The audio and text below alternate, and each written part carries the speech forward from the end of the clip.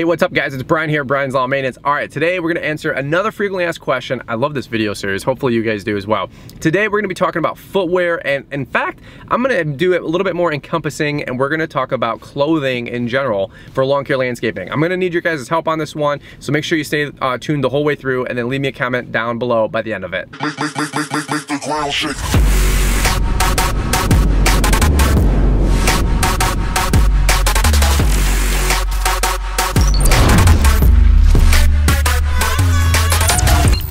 make, make, make the ground shake. All right guys, what's up? My name is Brian here at Brian's Lawn Maintenance and I'm doing this whole video series talking about frequently asked questions that you guys uh, ask me all the time. And this topic is footwear, footwear, footwear, footwear. Now, the low hanging fruit, and I know you guys are already thinking this, is for me to plug Kujo, Kujo, Kujo. As you guys know, I'm an affiliate for Kujo uh, with the Brian's 10 and you can get your Kujo shoes and they're lawn care shoes that are like waterproof and they're really good, right?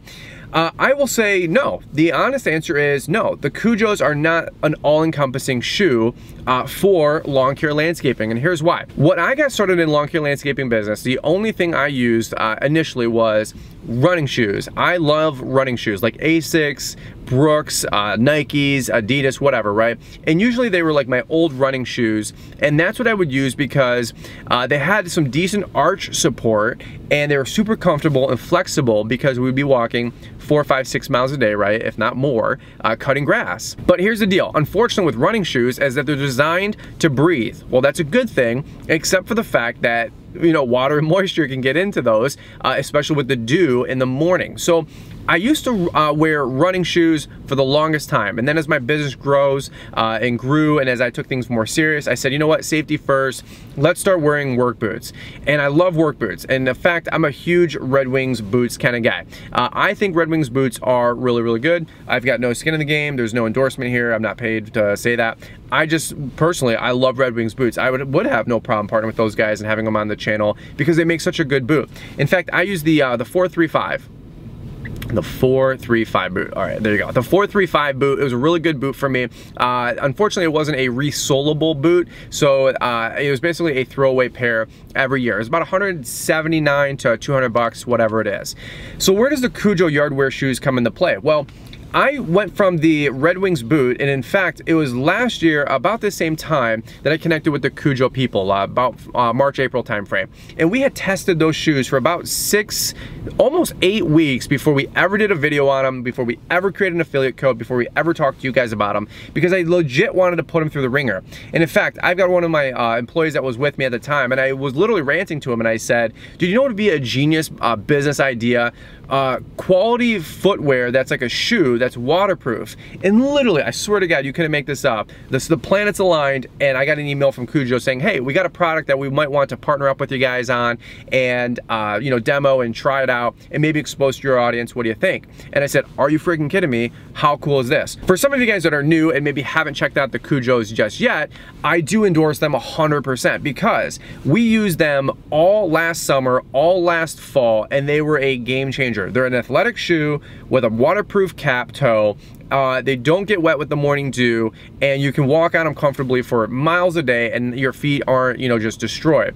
The other side of the fact is that they're not this crazy uh, boot, that moon boot I call them, that you have to wear all day like a Red Wings boot. So where does it come into play with Kujos or Red Wings? Well, here's my attitude. If you're doing lawn care, you want to invest in some good quality Kujos. But if you're doing landscaping and you're using shovels, uh, flathead shovels, uh, you know, pointed shovels, you're uh, using heavy equipment or machinery or wheelbarrows, things that could, you know, step on your toe, right? Things that you want to have safety first, then go with the boot option. I still wear boots. We still have our Red Wings. I love them. Uh, some of you guys might wear Keen boots. I know Stanley Dirt Monkey loves Keen. Uh, I haven't personally used those, so I can't endorse them. Uh, but that's what I'm trying to say, is that do I think Kujos are the end end all be all. No, no way, no way at all because we still wear boots uh, probably 10, 15, 20% of our season while we're doing landscaping work. So that's what I wanna tell you guys. Wear good quality boots if you're doing landscaping, but if you're doing lawn care, my personal opinion is yes, the Kujos, that's where those went out. Uh, little birdie that I know uh, is out there is that I believe Kujo is trying to come out with a boot with a uh, composite toe or a steel toe. So that might come out, but I think it's not gonna come out till later summer outside of the, the footwear conversation was, what I wanted to ask you guys next was pants. Pants, pants, pants. Dude, if you want to talk about the most frustrating thing in lawn care, it's burning up, it's getting hot. And I generally speaking wear pants the whole summer through. I mean, literally July, August, it's uh, you know 90 degrees, 100% humidity. I'm just baking and sweating and dripping. I mean, I can I can lose four or five pounds a day in water weight, uh, which is pretty crazy. I want to know what you guys use for the best pairs of pants. Now, here's the deal. If you want to leave a link in the description or uh, the, the name of whatever you guys wear for boots or pants, I'm totally cool with that. Um, the algorithm, generally speaking, blocks links, but I'm going to try to approve those so you guys can all uh, work together with me and have this discussion going so we can all work together uh, seeing what kind of products make the most sense out there that you guys use. So I'm going to leave those links down in the description uh, or on your comments, and I'm going to try to not have them be blocked by the YouTube YouTube algorithm because I really want to have a good resource out there. Uh, for fall and winter, I was using the uh, Duluth, what is it, like the fire, uh, fire hose pants or fireman pant. I don't, I don't even know. They were a little expensive. They were like 80 to 100, 100 bucks, um, but they lasted really well and they're really insulated and really thick. However, going into spring and summer, I want something that's light, something that's airy, uh, something that protects my shins because I don't want to wear shorts, uh, but something that's also not going to make me like suffocate and just burn up. So if you guys got some suggestions, I am all ears. Like I said, these FAQs, I can help you guys out with a lot of info, but I really appreciate it because you guys can help me out as well.